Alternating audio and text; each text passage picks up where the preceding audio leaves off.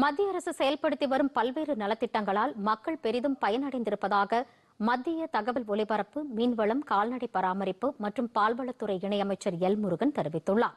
புதுச்சேரியில் பயணம் மேற்கொண்டுள்ள மத்திய இணையமைச்சர் எல் முருகன் நேற்று பிஜேபி சார்பில் நடைபெற்ற தொழில் வல்லுநர்கள் கலந்துரையாடல் பொதுமக்கள் மற்றும் கட்சி நிர்வாகிகளுடன் கலந்துரையாடல் உள்ளிட்ட நிகழ்ச்சிகளில் பங்கேற்றார். பின்னர் செய்தியாளர்களிடம் பேசிய அமைச்சர் எல் முருகன் எட்டு ஆண்டுகால பிஜேபி ஆட்சியில் பிரதமர் நரேந்திர மோடி தலைமையிலான அரசு ஆயுஷ்மான் பாரத் திட்டம் கிசான் திட்டம் உள்ளிட்ட பல்வேறு திட்டங்களின் மூலம் மக்கள் பெருமளவு பயனடைந்துள்ளதாக குறிப்பிட்டார். புதுச்சேரிக்கு மூவாயிரம் கோடி ரூபாய் மதிப்பிலான திட்டங்கள் அறிவிக்கப்பட்டு பணிகள் தொடங்கப்பட்டுள்ளதாகவும் அமைச்சர் எல் முருகன் தெரிவித்தார். நூறாவது சுதந்திர ஆண்டில் இந்த நாடு ஒரு வளர்ச்சி மிக்க நாடாக அனைத்து மக்களுக்கும் அனைத்து அடிப்படை தேவைகளும் அனைவருக்கும் வீடு அனைவருக்கும் சுத்தமான குடிநீர் அனைவருடைய வளர்ச்சி அதாவது சப்கா சாத் சப்கா விகாஸ் சப்கா விஸ்வாஸ் சப்கா பிரயாஸ் என்று சொல்லக்கூடிய அனைவரும் இணைந்து அனைவருடைய கூட்டு முயற்சியோட இந்த நாட்டினுடைய வளர்ச்சியை முன்னெடுத்து செல்வது இந்த அரசாங்கத்தினுடைய நோக்கமாக இருக்கிறது. அதை நாம் முன்னெடுத்து சென்று கொண்டிருக்கின்றோம்.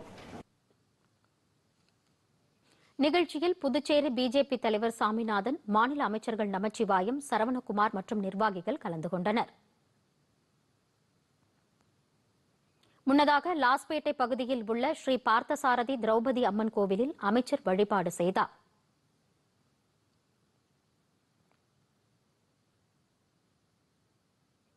பின்னர் லாஸ்பேட்டையின் பல்வேறு பகுதிகளை பார்வையிட்ட அமைச்சர் எல் முருகன் மக்களின் குறைகளை கேட்டறிந்தார்.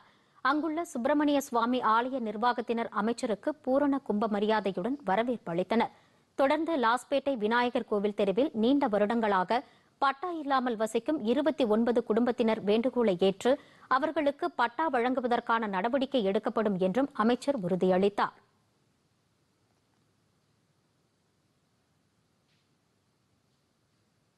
பின்னர் வில்லியனூர் சென்ற அமைச்சர் எல் முருகன் அங்கு நரிக்குறவர் இன மக்களுடன் உரையாடினார். அப்போது அவர்களின் குறைகளை கேட்டறிந்ததோடு அவர்களிடமிருந்து புகார் மனுக்களையும் பெற்றுக் கொண்டார். இதனிடையே நரிக்குறவர் இன மக்களின் அன்பளிப்பாக அமைச்சருக்கு பாசிமணி மாலையும் அணிவிக்கப்பட்டது.